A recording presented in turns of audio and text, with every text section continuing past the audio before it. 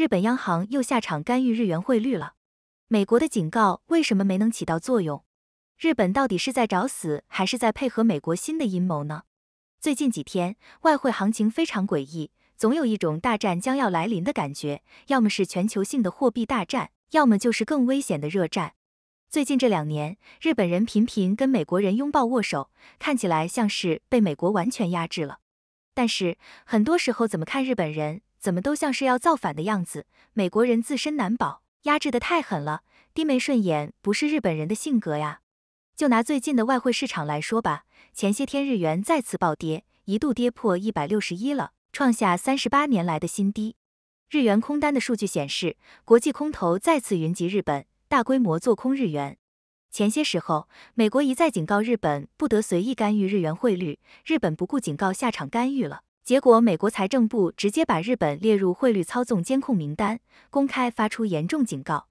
这明摆着就是美国指挥国际空头频繁搞事情，把日元直接摆上餐桌，享受大餐了吗？但是七月十一日开始，日元突然又连续大涨几天，再次稳定在一百五十七左右了，这就让人有些疑惑了。美国和日本到底是谁在搞事情呢？很多人都说日本央行又下场干预日元汇率了，这果然是真事。七月十二日，日本每日新闻报道，日本政府和日本央行表示。通过买入日元和卖出美元来干预外汇的行为已被证实。日元汇率的操盘手，日本财务副大臣神田真人快成神人了。前段时间一直在传他要被下课了，结果到现在还好好的。日本什么时候变得这么硬气了？美元指数应声下跌，目前已经接近一百零四了，而且刹不住跌势，眼看着就要跌破一百零四了。这直接导致前段时间美国人维持美元向上突破一百零六的努力。化为泡影，但是同时人民币却在持续下跌，离岸人民币跌破七点二七了，在岸人民币也跌破七点二五了。日元涨了，美元指数跌了，人民币却持续下跌，这就太奇怪了。按道理讲，这种情况下人民币应该升值才对啊，这背后到底发生什么了？这里面有两件事情值得重视。首先，日本央行再次下场干预日元汇率。这是事实，所以日本配合美国的谣言不攻自破了。其次，六月底开始，欧元大涨，对冲了前段时间日元下跌的影响。当日元又开始上涨的时候，欧元还在上涨，美元持续下跌，对人民币汇率造成了直接影响。有人问了，后续的趋势会是什么样呢？我们讲几个要点。第一，美元将会止不住跌势，因为美国 CPI 持续下降，经济数据持续恶化。美元降息预期上升，九月份降息的预测已经超过百分之八十了。那么美元提前下跌就很难避免了，除非美国再有什么奇招，强势拉升美元。事实上，他们确实有很多资源可以动用。第二，日本央行将会持续抗争，日元在一百六十左右应该能稳定住。第三，虽然最近在贬值，但人民币升值才是大趋势，预计年内有望破七。人民币这一波下跌其实是有些诡异的，有人说这是为了支撑出口在主动贬值，这种可能性也是存在的。但是人民币升值才是大趋势，一方面是中国经济的有力支撑，另一方面如果美元降息，其他货币对美元升值是大势所趋。大家从去年底就在喊的外资大规模抄底人民币资产，这是一直都没有发生。如果美元九月份降息，这种事情几乎肯定会发生了。但是我们仍然认为，美元九月份不会降息，反而更有可能再加息一次。如果拜登坚持不退选，那么十月底或者十一月初，在大选投票之前，美元很可能会降息一次。犹太财团要对民主党和拜登的大选支持到底。如果拜登退选，犹太财团很可能对民主党换上来的新人不抱太大希望了。那么美元很可能今年都不会降息。事情到了现在，美元不降息。反而不一定是坏事了，因为现在看来，我们能撑下去，美国经济和金融不一定能撑得下去。就算是他们能够咬牙撑下去，损失也一定比我们更大。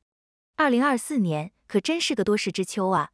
但是只要撑过去，我们就赢了一大半。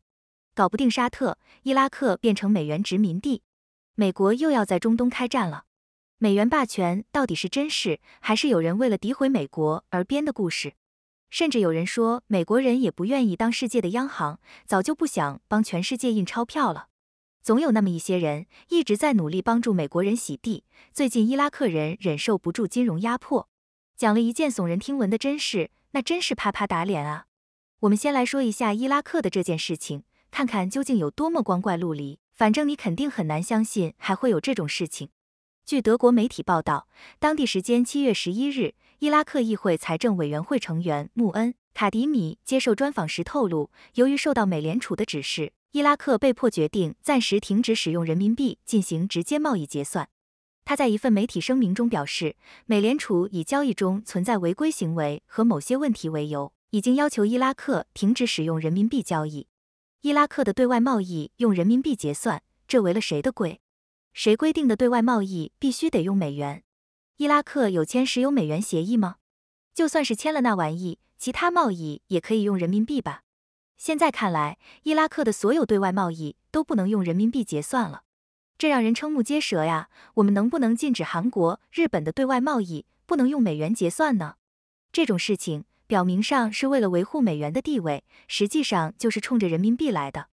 伊拉克卫星电视频道还报道说，伊拉克一直在通过新加坡银行增加以人民币计价的资产，为与中国的贸易和进口提供资金，每年总额约为一百二十亿美元。估计这事也惹恼了美国人，难道这就是所谓的违规行为？当然了，这种事情发生在伊拉克也就不奇怪了。伊拉克就是美国控制的国家之一，伊拉克堪称上个世纪末最悲惨的国家之一。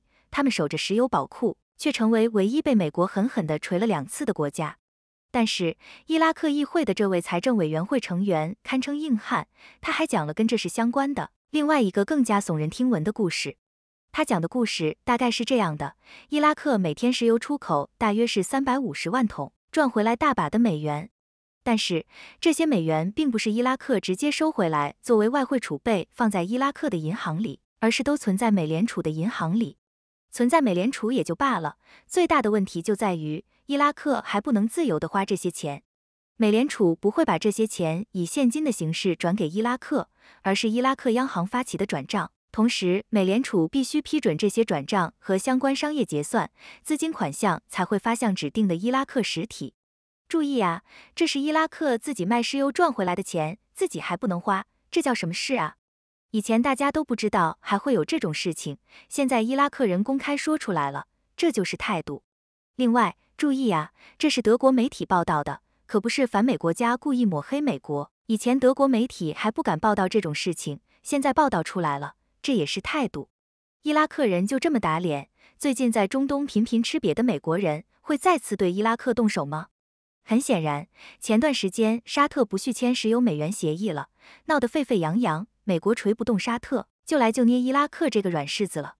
沙特几年前就在用美元以外的货币结算石油贸易了，美国人不断搞事也没起到作用。前不久，美国财政部长耶伦公开发出警告，相关国家不得不使用美元交易了。美国将采取有力的措施。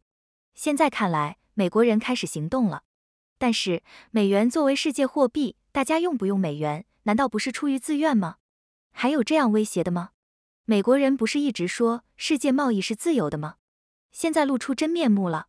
今年是美国大选年，什么事情都有可能发生。